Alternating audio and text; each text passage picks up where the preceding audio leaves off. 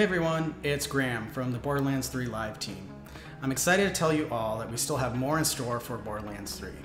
Later this year, you'll see another DLC, this time including new game modes, missions, and an additional skill tree for each of the Vault Hunters.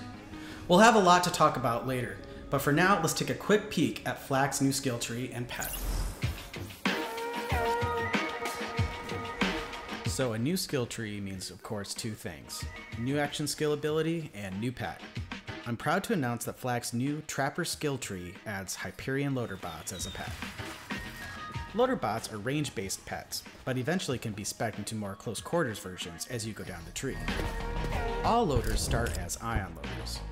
These are equipped with a Hyperion shock sniper rifles. Their attack commands fire slow-moving shock projectiles that can be shot, creating shock novas.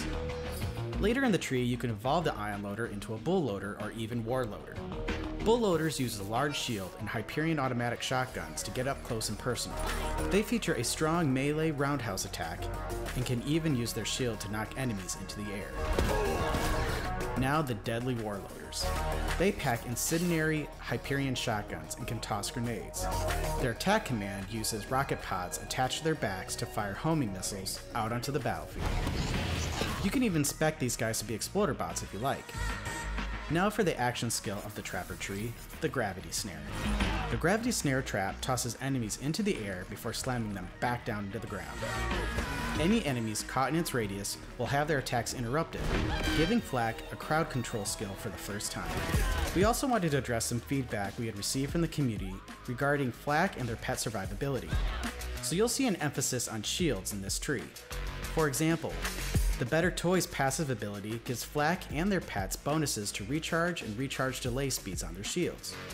The Take This passive provides pets a duplicate of FL4K's currently equipped shield. And the Fuzzy Math passive ability even restores a portion of FL4K and their pets' shields when they land critical hits. Finally, the capstone for the Trapper Tree is Capacitance. This skill effectively doubles FL4K's shield and immediately begins recharging it whenever they activate an action skill. So that's just a peek at FL4K. We can't wait for everyone to get their hands on this skill tree. Hope you're up for some weird stuff, Vault Hunter. Hey everyone, we're not done talking about Borderlands yet. I'm Pat Finn, producer for Borderlands 3. And we are bringing Borderlands 3 to Xbox Series X and PlayStation 5. Along with this, if you're a current gen player and you own the game on Xbox One, you'll get a free upgrade to Xbox Series X. And if you own it on PlayStation 4, you get a free upgrade to PlayStation 5. This includes all content, all saves. You'll be able to bring everything over from the last generation to the current. Along with this, this next generation will have the game running at 60 FPS in 4K in single player. The Borderlands have never looked better. And, as a new feature, for the first time in Borderlands 3, we'll be bringing 4-player split screen to the Xbox Series X and PlayStation 5. Along with this, we'll be adding vertical split screen play to Xbox Series X, PlayStation 5, PlayStation 4, and Xbox One.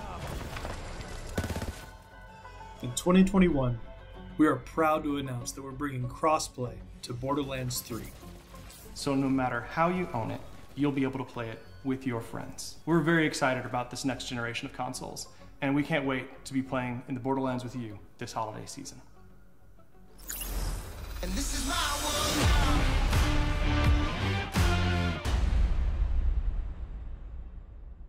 There's a lot of cool stuff hidden in the graffiti, like um, one of the other concept artists, Max Davenport, he did these like cool, very abstract graffiti. Um, but a lot of those are actually names of the developers, like on the oh, art yeah. team. Um, then there's some just like random stuff, like your donut or like Ellie have my babies, and just yeah. like there's a lot, and I I hope players can find them all. Oh yeah, the Ellie uh, sexy posters that mm -hmm. we mm-hmm. made. Oh yeah. Ellie's model and uh, and gave her gave him some like uh, what do you what do you call those? Uh, like pinup? Yeah, like yeah. pinup posters. Ellie has a series of pinup posters that you can find throughout the game. they're, they're wonderful. Every once in a while, we'll just send somebody a link to those, and they're like, "Oh my god."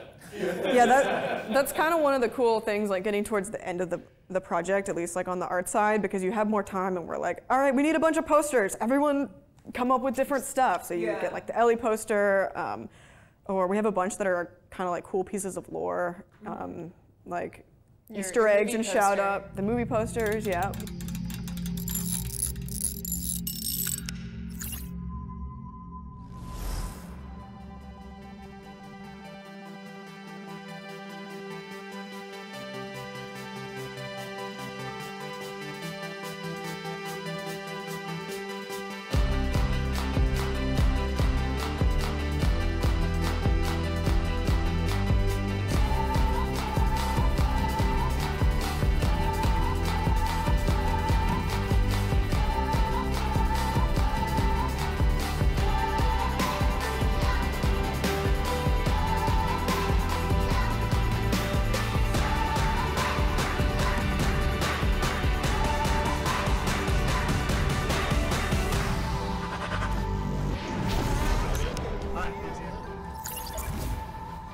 We did it, you guys. We did it. That was it. That's the Gearbox Entertainment main theater show at PAX Digital. And wow, you know, I wish that we could all be together live like we used to, but now more than ever, the Gearbox team is pumped to do our absolute best to entertain you. And if you like some of the things you saw today or you want to learn more about what's going on at Gearbox, check out our website, gearboxsoftware.com, or you can follow me on Twitter at Duval Magic. So awesome spending time with you guys. Thanks for checking us out. Thanks for hanging with us, and we'll see you soon. Check, check, one, two. Three, two, one. No, I'm just trying to see which angle that is. Okay. Take two. Bunkers and badasses. I'm not even anywhere near in position. Let's do this again. Give Maurice a second. He runs out of air if you squish him. These things are like comically flimsy. That includes lots of premium components, including me starting over again because I can't talk and stumble over my words. Would you do me a favor? Would you mind saying that just one more time? Sorry. there, there was there was just one thing there. I would I would I just. Just edit over it. Let me start that over. In 2021, we will be adding crossplay to the Borderlands 3 across all platforms.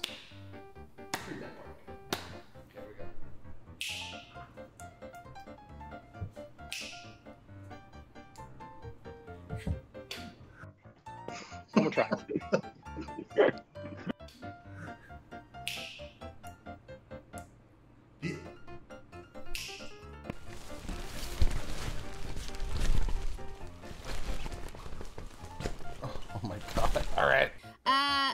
I'm panicking. Okay. Sorry. Okay. The deluxe edition of the game contains 10 Maurice is deflating. Hang on a moment. oh boy. Yeah, the mark. That was the funniest part. edition of the game that was hilarious. 10 exclusive miniatures. Would you stop praying? Maurice wants to know if the Krieg ever feels alone, like an outsider. You guys want you want to tell everybody what? Ah, thank you everyone for your time. We look forward to. Ah! See what happened. I start talking, and Nolan does this. As though his brood brethren do not trust him.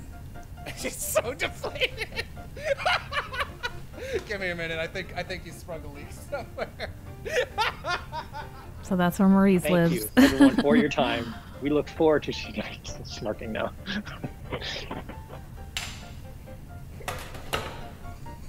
Okay, okay, cut. We're all broken.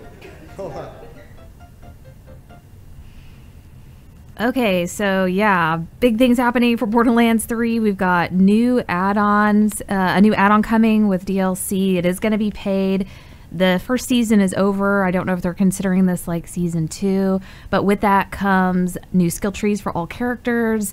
A new game mode is coming, a four-player split screen, and FL4K's new loader bot pet. I'm so glad they showed that. Crossplay is coming in 2021 and there's even more still that they're going to be sharing later on. I have a video that's about to go live that's going to cover all of this and more. So thank you guys for hanging out and yeah, we'll talk to you soon and hopefully uh, stream something and yeah, I don't know. Thank you guys. we'll see y'all.